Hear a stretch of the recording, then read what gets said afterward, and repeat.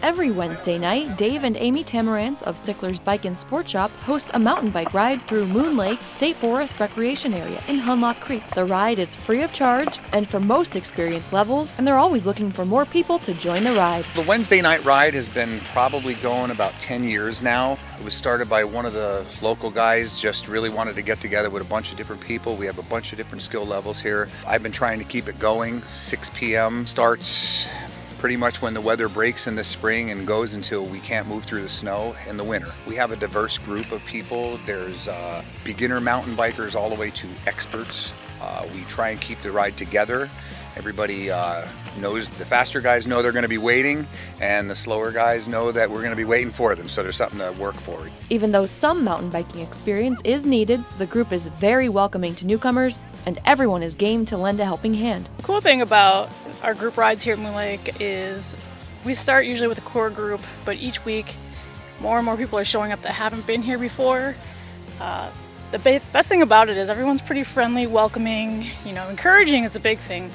Uh, a lot of people are intimidated to come out on group rides, especially when they know the core riders, let's call them, are the ones that are there every week that have the expert skills.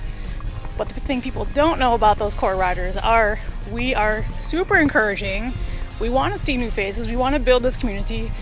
When you get involved in this mountain biking community, you find it's almost like a second family. We find ourselves hanging out at non-bike related events, uh, contacting each other via social media, cell phones, uh, group parties. You know, it's, it's more than just a bike ride. It really develops our community, brings people together away from the outside drama. It's a stress-free environment. You know, you deal with stress all day at work. You come here to relieve that stress. The people that, that, that I'm surrounded by, they're just, everybody's just like real friendly. Um, they help each other. If you have any questions about your bike, everybody's like, willing to, to help and to, to even show you things on how to take on new trails or be more confident on your bike. I moved here about seven or eight years ago from Nassau County, Long Island, and um, I had moved here for somebody and didn't really know anybody except for him, and he was into mountain biking and said, show up at Tuesday night uh, for a Frances Slocum ride, and I showed up, and I've kind of been going to Tuesday night, then Wednesday night at Moon, and Friday night at someone else's house, and since then I've just been meeting different people, and I met Dave and Amy and the Sicklers people, and I mean, it's it's a great community. I started road biking, and kind of just building my friends and my community. Not only is the ride a great form of exercise, but a real biking community has formed with this Wednesday night group. For me, it's social. I know a lot of people like to try and go fast, but for me, it's just getting out here outside with my friends and doing a little better myself each week. Every Wednesday, we meet at the first pavilion on the left inside the main gate, quarter to six. We try and get out of here about 10 after 6 and get rolling. Uh, it's usually about an hour and a half to two hour ride. Um, you don't have to sign up. You just got to show up and ride and just bring a smile on a bicycle. For the great outdoors, Aaron Dugan.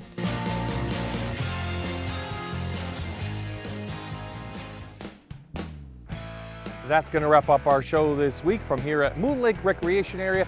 Thanks to all of our friends from Sickler's Bike and Sport Shop for taking us out on a great mountain bike ride.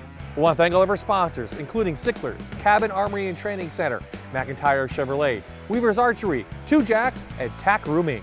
We'll see you next week in the great outdoors.